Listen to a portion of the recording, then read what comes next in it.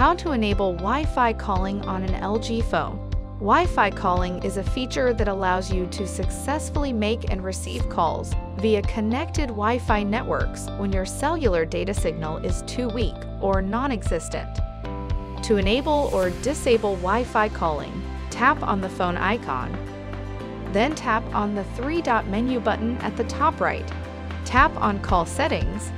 Tap on Wi-Fi calling, then turn the toggle on or off. You should also tap on Update Current Emergency Address and put in your home address. This feature allows E911 systems to verify the address you have entered when you are on a Wi-Fi call and a cellular network is not available.